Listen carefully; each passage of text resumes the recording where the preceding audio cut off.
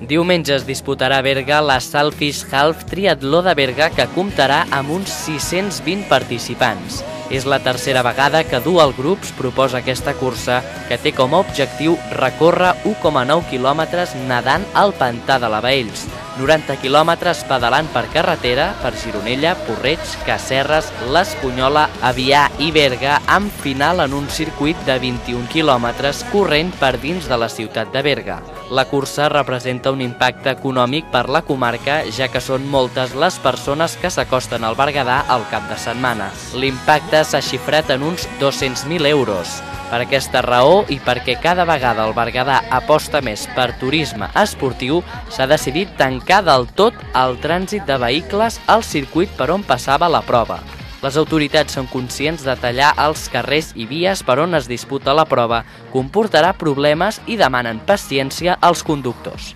Sí que nosaltres el que demanaríem, vistes aquest, això, vistes aquestes, aquestes coses, és la comprensió de la gent i dels ciutadans de la ciutat i també doncs, d'alguns que puguin sentir-se eh, afectats perquè la incidència i els beneficis per la comarca i per la ciutat són importants i cal i entenem i demanem doncs, que el diumenge hi hagi una mica de paciència en aquest sentit. Només és el diumenge però també la incidència de a la promoció de destinació turística, destinació esportiva que té la, aquesta prova doncs, és interessant i important i és una de les apostes que Berga i el Berguedà doncs, al seu moment va decidir entre tots plegats de tirar endavant.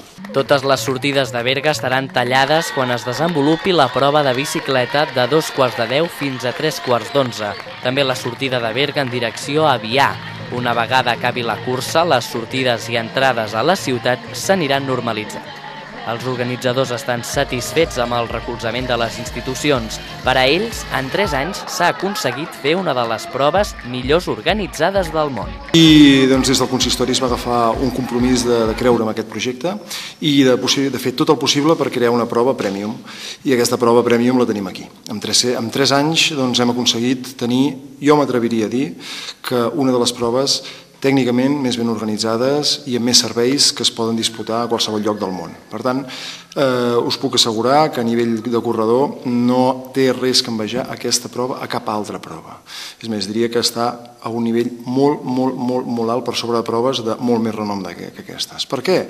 Doncs perquè ara mateix ens han fet una, una lliçó. No? Eh, el, poble, el poble està, està entregat a aquesta prova. Eh, hi ha un tancament, hi ha unes facilitats, hi ha, doncs això, nosaltres no podem fer una altra cosa sinó que aprofitar-ho i fer-ho molt fort. I pel nostre cantó doncs hem fet i hem continuat apretant al màxim. Continuem tenint més participants que l'any passat, malgrat un augment d'IVA que ens ha passat d'un 8 a un 21% i ha, ha fet bastant mal amb una economia amb la que estem ja. La triatló és una cursa més de les organitzades a la comarca, que aposta per aquest tipus de turisme per rellençar l'activitat econòmica. La prova s'iniciarà a les 10 del matí al Pantà de la Baells amb la natació i progressivament els atletes agafaran la bicicleta i acabaran a peu pels carrers de Berga. L'arribada serà al passeig de la Indústria, plaça Viladomat.